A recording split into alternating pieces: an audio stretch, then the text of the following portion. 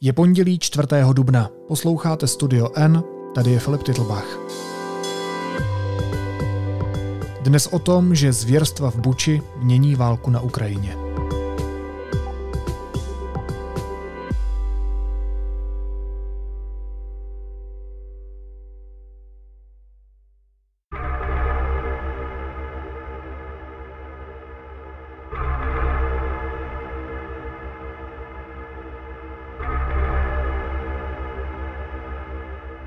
Radost z osvobození řady ukrajinských měst a vesnic střídá zděšení. Ustupující ruská armáda se podle řady svědků mstila civilistům. Na ulicích Buči nedaleko Kijeva leží těla zastřelených lidí v civilním oblečení, některá se svázanýma rukama. Stopy mučení nesou i nalezená dětská těla.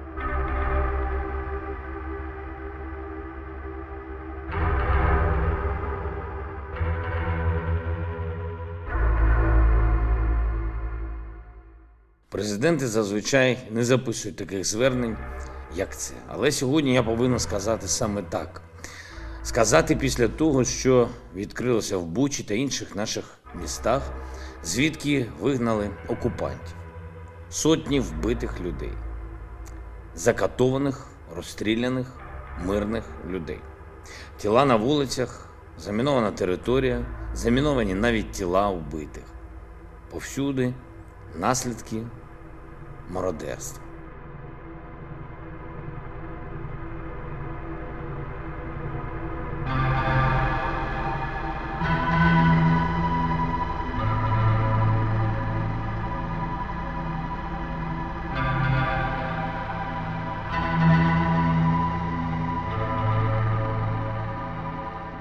Hostem podcastu je reportér slovenského denníku N. Mirek Tóda. Mirku, vítej. Ahoj. Ahoj Filip, pekný deň vám všetkým. Jaké záběry, jaké informace, jaká svědectví k nám proudí z Buči, kterou Ukrajinci dobili zpět? Tak jednoznačne je to masakér. Prezident Ukrajiny Volodymyr Zelenský tomu to nazval koncentrované zlo. A to sa mi zdá ako veľmi adekvátny výraz. На нашій землі побувало концентроване зло, вбивці, кати, гвалтівники, мародери, які називають себе армією і які заслуговують тільки на смерть після того, що вони зробили. A je to čisté peklo, ešte by sa dalo povedať. A ako hovorí bývalá vlastne hlavná žalobkyňa Medzinárodného trestného tribunálu Karla Del Ponte, sú to vojnové zločiny a ruský prezident Vladimír Putin na ňo by mal byť vydaný zatýkač. S tým myslím, že veľa z nás asi by sa vedelo zmieriť po tom všetkom, čo sme videli v Buči v meste, ktoré je nejakých 25 km na sever od Kieva. Tie fotografie a videá, ktoré sme videli, sú naozaj ako z nejakého strašidelného filmu, nejakého hororového filmu, kde na zemi ležia mŕtve tela, niektoré sú zviazané, boli zastrelení výstrelom guľkou do hlavy. Počuli sme príbehy opakovaného znásilnenia, rabovačiek, proste absolútnych zverstiev, ktoré po sebe zanechali ruskí okupanti.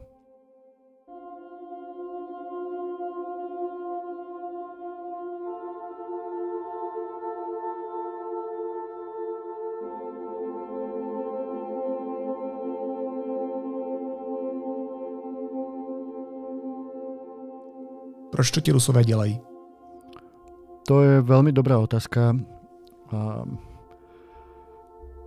Ak e, možno niekoľko týždňov dozadu, keď sa vrátime k tomu, keď ukrajinská tajná služba vlastne sa dostala k rozhovorom niektorých ruských vojakov, ako telefonujú so svojimi mamami alebo ženami, tak niektoré z tých záznamov boli také veľmi šokujúce v štýle, že veď pozabíjaj čo najviac tých Ukrajincov a, a tak, ako keby tí ľudia, ktorí to spôsobili, nemali hranice.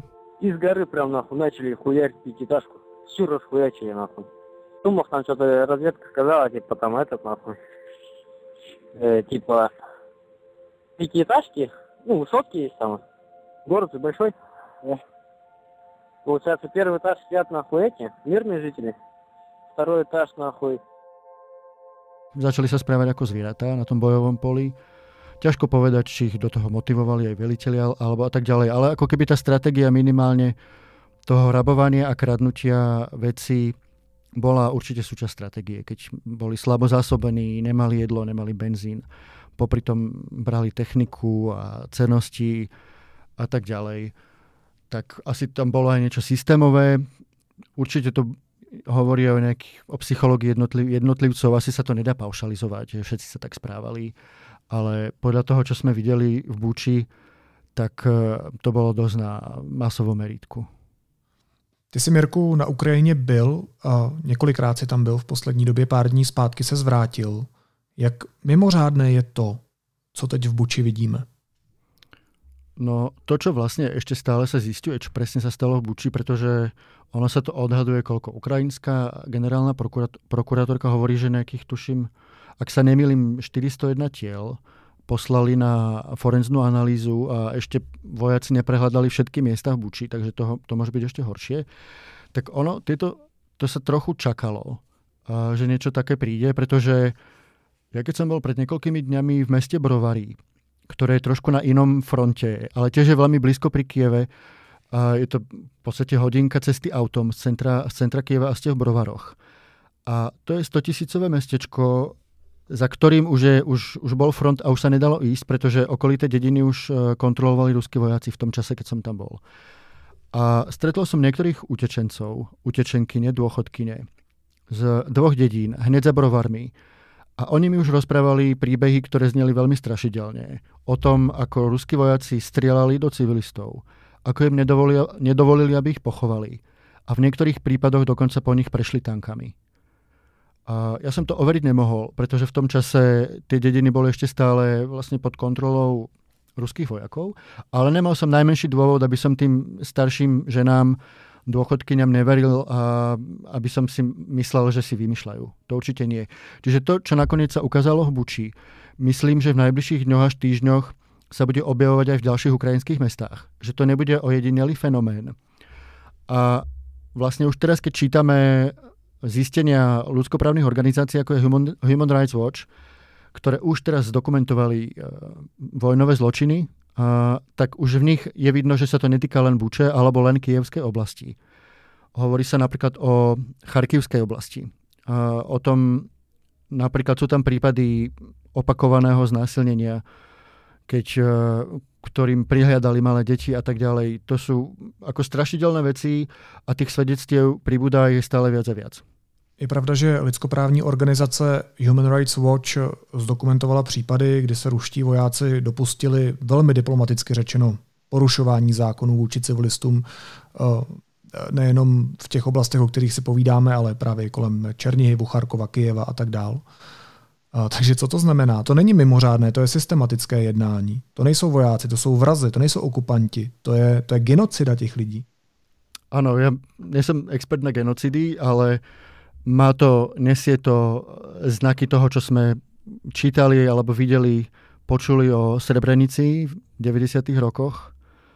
A naozaj to nápadne pripomína tú situáciu, keď sa odohrala tá genocida voči moslimom v Bosne a Hercegovine, tak teraz e, sa to deje väčšinovo kresťanskému obyvateľstvu, ktoré je jazykovo spriaznené s Ruskom. Rusko, ktoré tvrdilo, že Ukrajinci sú jeho bratský národ, hoci vlastne pred vyše mesiacom Putin tvrdil, že vlastne Ukrajinčina a Ukrajinci ako takí vlastne neexistujú a sú to vlastne Rusi. Tak teraz ako keby on ten ruský svet a jeho retorikou alebo, alebo retorikou ruskej propagandy denacifikujú.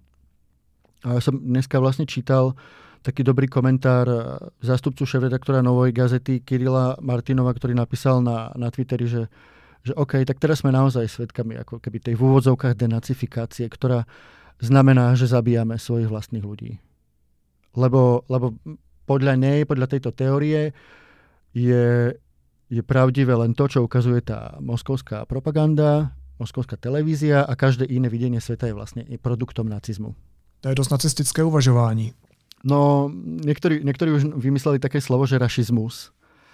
A celé ako keby, ja nechcel by som sklznúť do analogií, kde by sme porovnávali Hitlera s Putinom, lebo to, ja som vždy uh, zástanca toho, že treba hovoriť o konkrétnych veciach a ne, nepliesť jablka s rúškami.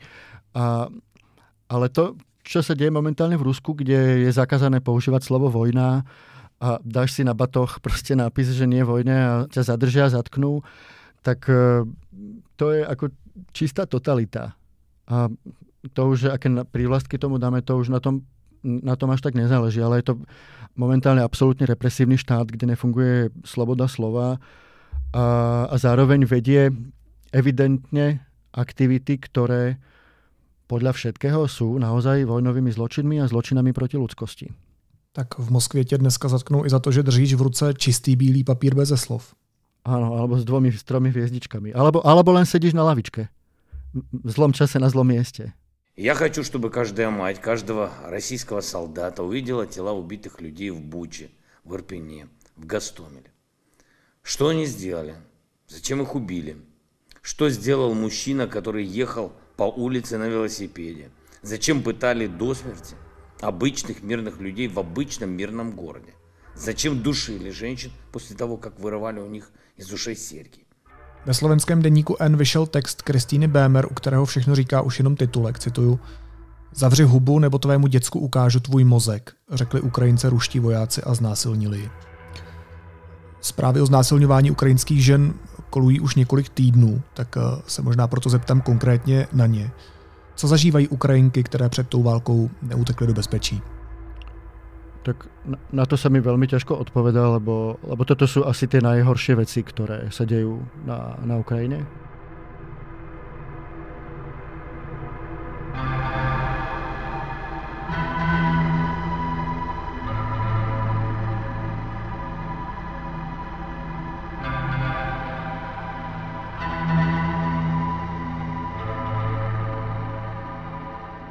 Je to, je to obludné, a Ukrajinky, ktoré patria určite medzi jedny z najkrajších žien na svete a, a zároveň sú veľmi statočné a inteligentné a hrdé, tak uh, sú vystavené v mnohých prípadoch obrovskému násiliu a takým tomu ako najhorším zločinom, aké sa môžu stať.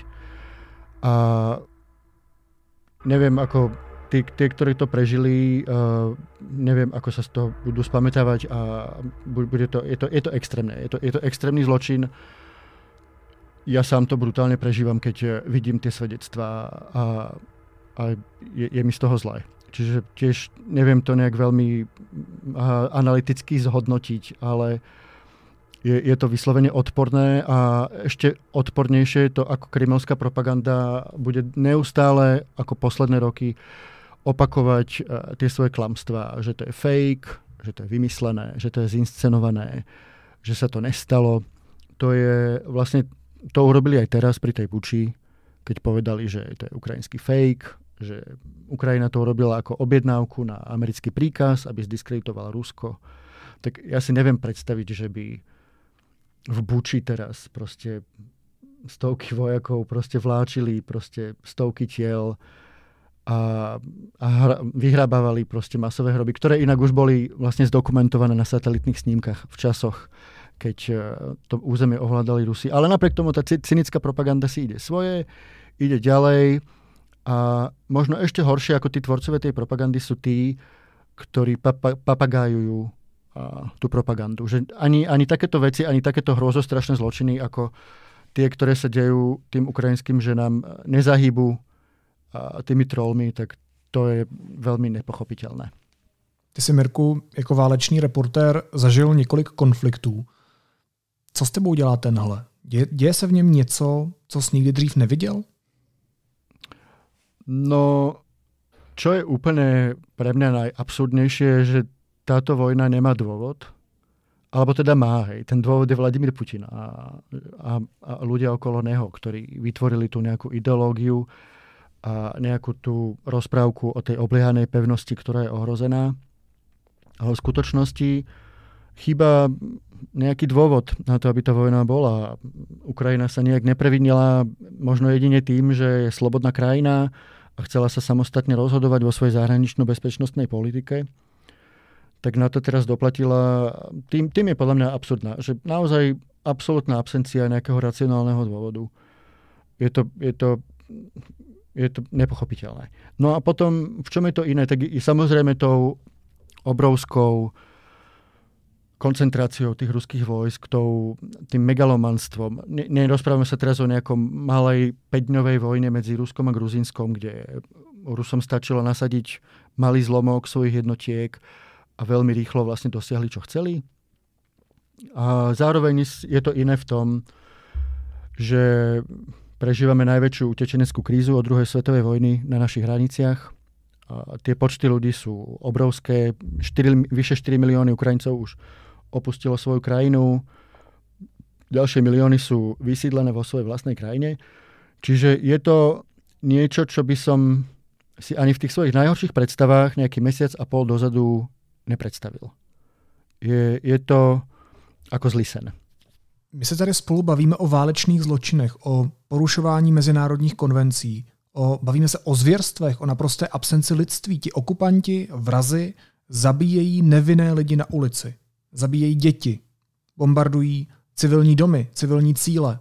Na ulicích zůstávají mrtví, svázaní lidé. Znásilňují ženy. Kdyby neexistovaly už žádné hranice.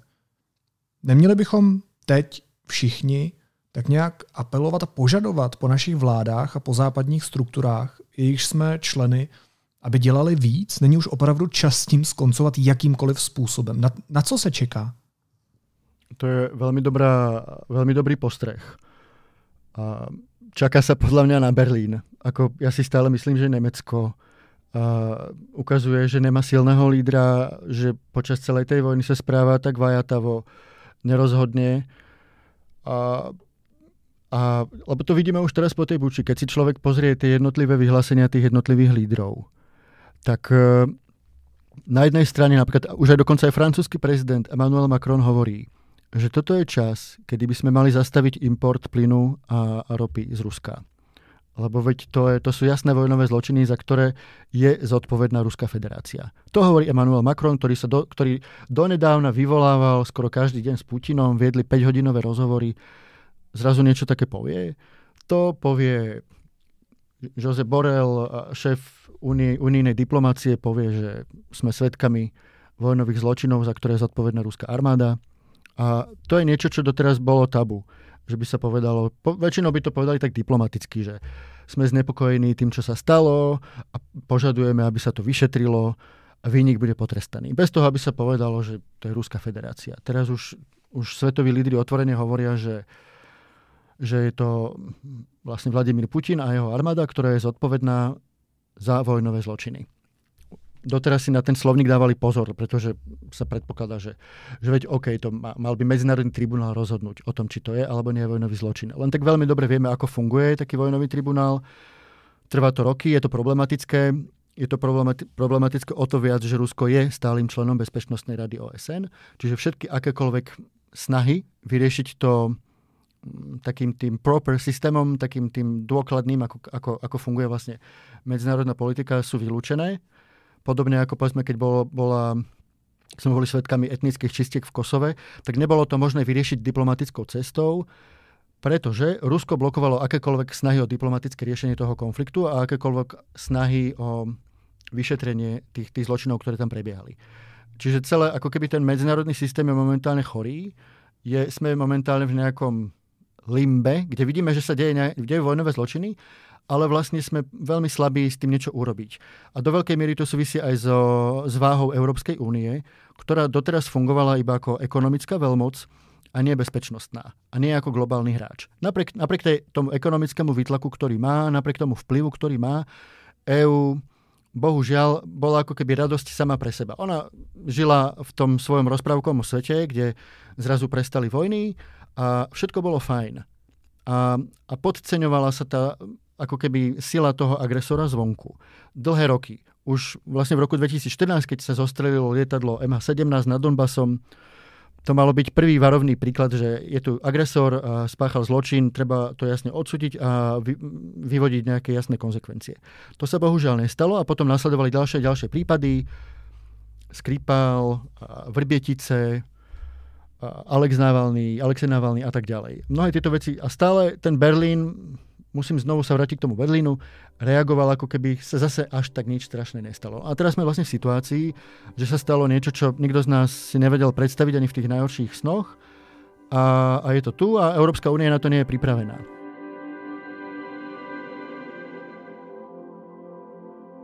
Do veľkej miery to súvisí aj s biznisom, s biznisovým prepojením na Rusko, že, že tí ľudia v Nemecku si stále neuvedomili, že OK, že veď za chvíľku to môže byť aj u vás.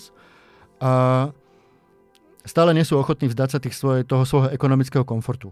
Pretože si predstavujú, že koľko, asi 40%, zo 40% myslím, že je Nemecko závislé na ruských energiách, tak sa boja, že to nebudú vedieť vykryť. Ale tak napríklad Litva, tá už sa odstavila od plynu. Na Slovensku je tá debata veľmi horúca, pretože my sme takmer 100%, ne, ne v niektorých veciach závislí od Ruska, čo sa týka energií. Čiže ne, nebude to, ne, ak, ak by k tomu došlo, nebude to úplne jednoduché. Dokonca teda jeden z ministrov, uh, Sulík, pripúšťa, že nám by to nevadilo platiť za ruské, ruskú energiu rublom, hoci nevadilo by teda tým pádom, že sa porušujú pravidlá, lebo sme sa na niečom s Ruskom dohodli, že sa to bude platiť proste v inej mene. A a tak, no, čiže zostala, zostali tu Spojené štáty, ktoré sú momentálne najaktívnejšie, ale zároveň sú na inom, na inom kontinente. Je tu, je tu Veľká Británia, ktorá podobne ako Spojené štáty je jedným z garantov ako keby tej ukrajinskej bezpečnosti podľa toho budapeštianského memoranda z roku 1994. Čiže napríklad Boris Johnson hovorí, že áno, áno, musíme nielen adekvátne reagovať tými sankciami, ale musíme aj naozaj teraz zbrojiť tú Ukrajinu, aby sa dokázala brániť. Namyslím a teraz tú Odesu hlavne. Že je obava, že ako sa teraz Rusko sústredí, preskupilo svoje jednotky, sústredí sa na Donbass, tak je obava, že sa pokusí, keď dobijú Mariupol, čo sa zrejme stane. A držme palce, že Ukrajincom, že, to, že dokážu otlačiť ten nápor, ale ja by som bol trochu skeptický. A, a keď dostanú ten Mariupol, tak sa im uvoľní cesta na ten južný koridor a môžeme potom v blízkej dobe očakávať podobný súboj o Odesu, čo bude nesmierne tragické a nesmierne krvavé. Čiže naozaj je teraz najvyšší čas pomôcť Ukrajincom čo najviac e, sa brániť. Oni sami hovoria, že nepotrebujú cudzích vojakov, že to zvládnu sami. Jediné, čo potrebujú, sú zbraně. Na čem jiném stojí západní struktury víc než na humanismu, který tak často mezi sebou akcentujeme? Pokud se nepletu, moto Evropské unie zní United in Diversity. Uh, jsme všichni jednotní, jsme rozmanití, dbáme na lidská práva. Jak se za pět, deset let podíváme sami sobě do očí, když se nám zbortí tahle základní hodnota? Protože my ty záběry z Buči vidíme. Nad tím se nedají zavřít oči, nedá se podívat bokem. Už se nedá jenom říct, že jsme znepokojeni, jak se vždycky diplomaticky říká. No, tak keby... Tak uh, ani, ani pri, tej, pri tých hrôzach, ktoré sa odohrávali proste v krajinách bývalej Jugoslavie, to veľmi dlho trvalo, kým, kým sa zobudila medzinárodná verejnosť. A ako, to ešte môžeme byť radi, že nesme na tom ako India alebo Čína. Obrovské miliardové krajiny, ktoré to majú v podstate na háku. A napríklad Čína to prešla v podstate mlčaním. India takisto sa nepripojila k západným veľmociam, aby odsudili aktivity Ruskej federácie. Zatiaľ, čo povedzme menšie krajiny, ako, ako povedzme Japonsko alebo Nový Zéland, tí s tým nemali problém. Je tá humanita, keď, keď sme vlastne pri tom princípe tej humanity, no tak aby sme ju dokázali, aby sme dokázali zabezpečiť tie humánne podmienky pre kohokoľvek, tak potrebujeme aj nejaký nástroj, ktorým to dokážeme zaručiť. A ten proste EÚ nemá, alebo, alebo ho nechce použiť, teda mala by ho, hej, že ten tlak by mohol byť väčší, samozrejme. Hlavne, keď sa teda bavíme o tej sile Európskej únie, je, je tá ekonomická. Jednoznačne od začiatku, keď Putin povedal, že budete platiť za energie rublom, tak mala byť okamžite rýchla reakcia. V žiadnom prípade. Unisono, 27 krajín EÚ, povie, v žiadnom prípade pravidla sa dodržujú, máme tu zmluvu, kontrakty, je to jasné, a aké ruble, o čom sa tu rozprávame. A keď proste lebo všetci vieme, že z čoho je financovaná tá Putinová vojna. Je financovaná z plynu a z ropy. To, to sú príjmy, ktoré majú oni aj vďaka vysokým cenám energií dennodenne proste v miliónových sumách. Čiže to je jediná šanca, možno dobrou správou pre nás je, že sa už predsa len pomaly blíži tá jar, a bude teplejšie, čiže aj tá odvaha možno odtnúť to energetické napojenie, tú pupočnú šnúru s tým Ruskom bude väčšia uvidíme v najbližších dňoch, lebo ja si naozaj myslím, že Buča nebola jediná, nebude ani posledná z tých zverstiev, ktoré sa dozvieme. Bude to pre nás všetkých, aj pre nás novinárov, aj pre čitateľov, divákov, posluchačov, myslím, že ešte veľmi náročné dni a týždne, možno aj mesiace, pretože nič nenasvedčuje tomu, že by Putinov režim chcel ukončiť túto vojnu. Vôbec nie. Má, má tam jasnú predstavu, chce dobiť Donbass v celej tej jeho administratívnej, administratívnej hranice, hranici, čiže koľko? Donetskú oblasť majú zhruba polovicu, Mariupol ešte totálne nezrovnali so zemou, čiže ho asi totálne zrovnajú so zemou, aby ho mohli obsadiť. A, a do toho skutočne ešte obava o ten južný koridor, aby mohli oni logisticky si vyriešiť tie svoje problémy okolo Krímu, ktorí odrezali od Ukrajiny. Lebo aj všetky tie debaty ako keby o tom, že, že ten Krym bol vždy ruský a, a že patrí k nemu. Áno, ako populač, populačne je tam momentálne, na, ako tam je najviac toho ruskojazyčného alebo etnicky ruského obyvateľstva, ale keď sa pozrieme logicky, geo, ako geograficky na ten polostrov, tak patrí tej Ukrajine. Ako, už len kvôli tomu. A keď sa bavíme historicky, tak to je už úplne iná káva. A boli tam ďaleko pred Ruskom iné národy, a rozprávať o, histori- o nejakom historickom dedictve a šíriť takú tú ruskú nacionalistickú ideológiu o nejakom jednoliatom ruskom svete je naozaj pripomínajúce tú ideológiu, o ktorej sme sa rozprávali v úvode tohto podcastu. Ještě poslední věc, Mirku, je to, čeho jsme teď svědky, nějakým zlomem v té současné válce? No, uvidíme. Ja si myslím, že to uvidíme o dva dní, keď EU oznámi svoje sankcie. Dneska som vlastne telefonoval s jedným diplomatom v Bruseli, že aká je nálada po tej buči a, a čo teda, že ako dlho vlastne trvá prijať sankcie. Tak on, on mi vlastne hovoril, že, že OK, že bol taký vizuálny šok pre nás všetkých, že viac menej sme to ale čakali, že to sa bude diať a že keby náhodou Ukrajinci získali späť Mariupol, tak to bude násobne horšie. A čo sa týka tých sankcií, trvá to, že tak dva dní, čiže dajme tomu, dneska sa stretli diplomati 27 a začali sa rozprávať o tých sankciách. Najskôr, ak to rýchlo pôjde, tak v stredu by mohli oznámiť výsledok a predpokladá sa, že embargo ruských energií medzi nimi nebude. Pretože krajiny ako Maďarsko a potom rôzne iné ešte, neviem čo Slovensko, predpokladám, že to vy ťažko povedať, že či má náš premiér mandát od svojich kolečných partnerov, aby povedal, že sa pripája, to neviem, ale skôr si myslím, že to, v tom prípade by zvolili opatrnú taktiku a nedali by najavo, že by sme boli proti. A skôr by sa, myslím, že tam by bolo, bolo rozhodnutie v štýle, že by sme sa pridali k väčšine. A otvorene by sme proti tomu nešli. Čiže v konečnom dôsledku si myslím, že Slovensko by podporilo toto rozhodnutie toho embarga. V prípade Česka to možno budeš vedieť lepšie ty, ale myslím si, že, že váš premiér vystupuje posledné týždne naozaj veľmi dobre a razantne a hodnotovo, čo ukázala jeho cesta do Kieva. A skutočne musím povedať, že keď som bol v Kieve, som sa na to pýtal, tak ľudia to veľmi ocenili, tú cestu. Čiže uvidíme o dva dní podľa mňa, že nakoľko je to prelomové. Ale asi je to začiatok uh, ešte veľmi zlých správ, ktoré budú prichádzať uh, z Ukrajiny.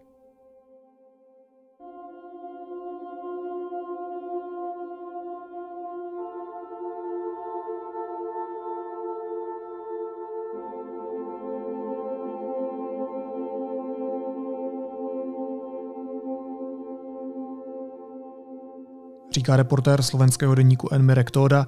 Mirku, moc ti děkuju a opatruj se. Ahoj. Ahoj.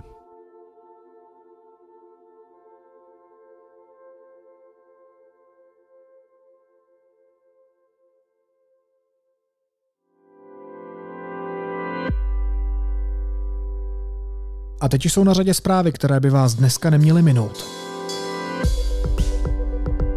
Rusové oslovili dva české diplomaty v Moskvě ke spolupráci. Jednoho dopisem, druhého kontaktovali přímo na ulici a vyhrožovali mu. Společně to zjistili reportéři deníku N a týdeníku Respekt. Národní centrála proti organizovanému zločinu se zabývá propagací exministrině financí Aleny Šilerové na sociálních sítích. Uvedl to server Neovlivní.cz. Na skutečnost, že si Šilerová na ministerstvo najala fotografy hnutí ANO, upozornil deník N.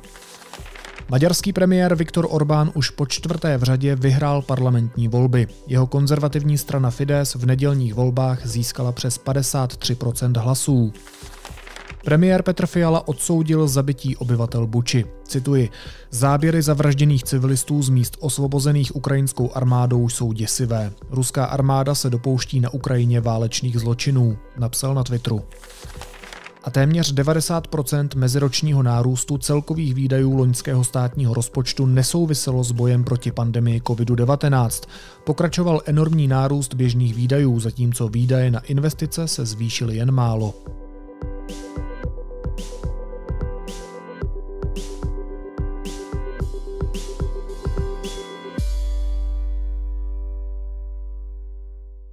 A na závěr ještě informace o tom, kde pomoct – České neziskové organizace založily projekt pomáhejukrajině.cz, kde můžete v jednoduchém formuláři poskytnout, co je zrovna potřeba. Naslyšenou zítra.